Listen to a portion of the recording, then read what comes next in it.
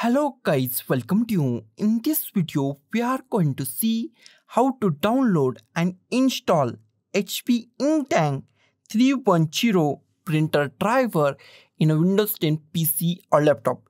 It is a very easy and simple process. So let's to our video. First, we check our machine is 32-bit or 64-bit. Go to this PC, right click on this PC, click on properties, in properties, here we find system type. If system type is 32-bit, that means that machine is 32-bit operating system machine.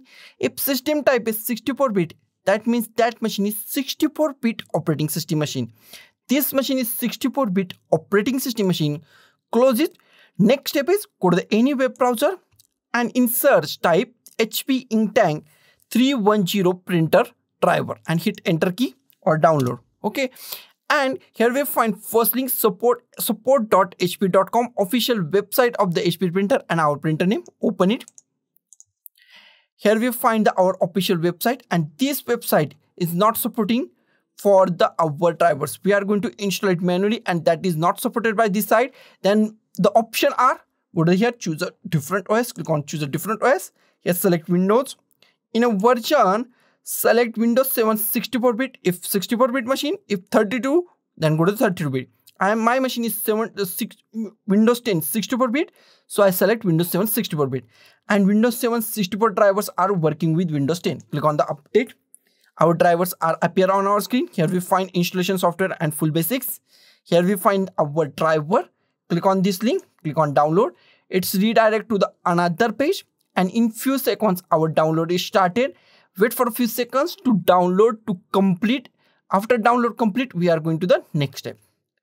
Here we find download is complete. Go to the downloads click on show in folder minimize it drag this setup file to desktop close it.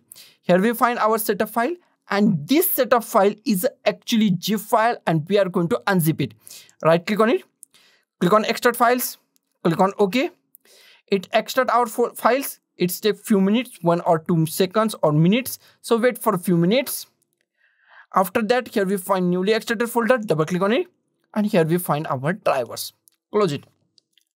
Next step is install it. There are two way two ways. First way is double click on this setup file and install it. And second way is the install it manually and we are going to manually install. Go to the start. Type printers and scanners.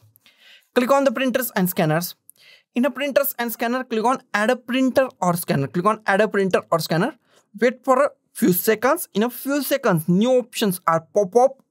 Here we find new option. The printer that I want isn't listed. Click on that. Printer that I want isn't listed. Close it. Here we find add a printer. In add a printer, here we find add a local printer or network printer with manual settings. Select that. Click on next.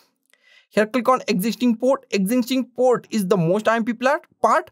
Click at here and if you find any port name HP COM4 underscore 001 or 4 HP printer, HP printer device, if anything about HP, then select that. If you not find that, then select USB. USB 001, USB 002, 003, 004. Select any USB that you find.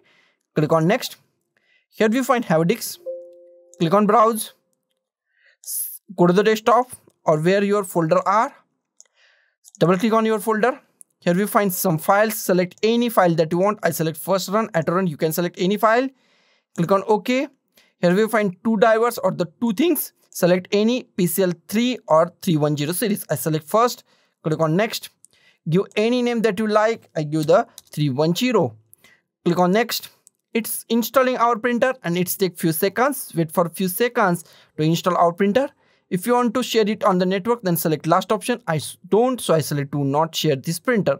Click on the next. If you want to print a test page, then click on a printer test page or click on a finish. Next step is next step is check out printer properly installed or not. Go to the start, type printers and scanners. Click on the printers and scanners.